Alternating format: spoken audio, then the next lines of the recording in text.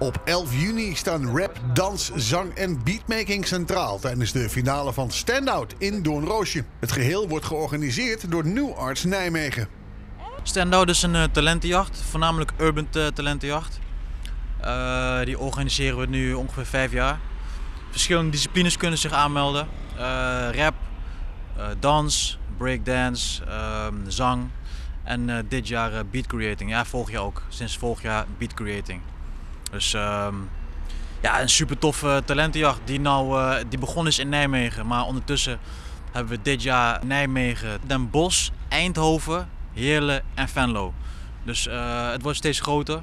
Uh, de finale is natuurlijk altijd in Doornroosje of in ieder geval in Nijmegen. Vorig jaar hadden we Walhalla. Walhalla is helaas niet meer. Maar dat is een beetje stand-out. Er hebben zich dit jaar 80 mensen aangemeld.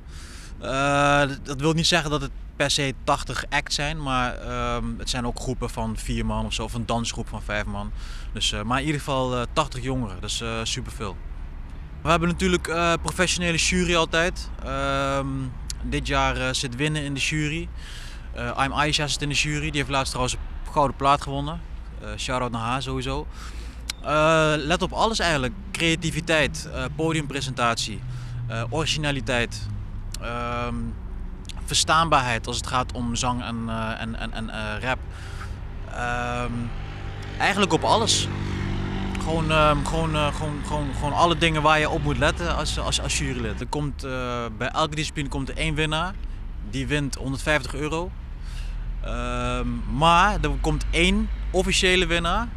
En die krijgt een videoclip.